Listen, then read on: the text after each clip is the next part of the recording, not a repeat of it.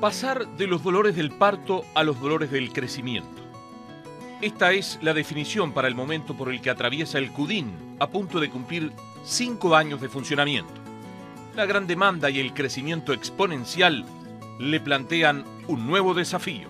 Hemos tenido un eh, crecimiento que es, eh, yo diría, más rápido del que habíamos previsto.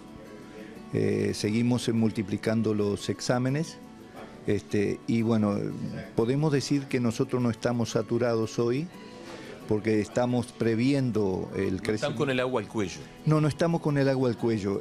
tenemos la posibilidad de reclutar más personal, Habría que ver la posibilidad de, expandir, digamos, de, alguna nueva cámara y contratar nuevo personal, cosa que hay que discutirlo y verlo.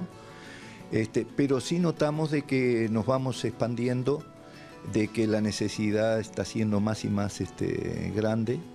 Y bueno, estamos preparándonos para afrontar las fases futuras, ¿no? Una de las discusiones que están planteadas es la posibilidad de desarrollar la técnica en el interior del país.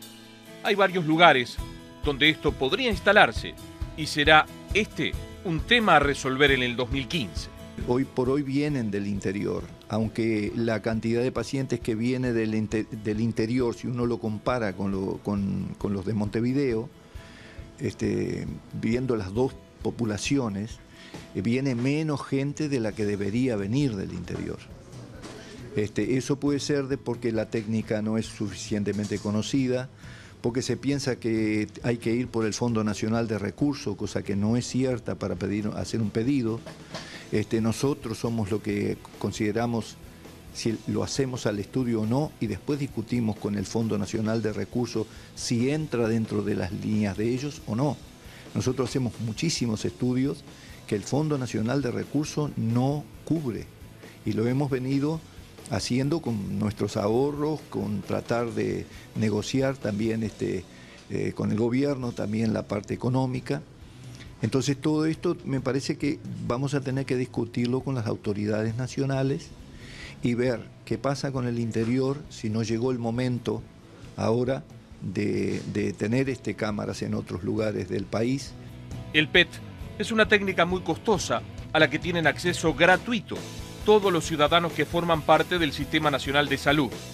También pueden acceder quienes posean un seguro privado y paguen el estudio.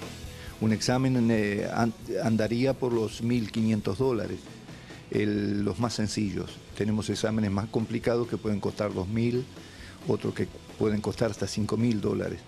Pero este, para la población que está inscrita en el, está dentro del Sistema Nacional de Salud, es totalmente gratuito, es decir, y es muy sencillo además acceder a un pedido a través de las páginas de internet del CUDIM, que es www.cudim.org. Este, ahí el, médico tratante nos solicita el pedido este, y eso ingresa dentro de nuestro sistema y de aquí se toma contacto con el paciente para darle hora.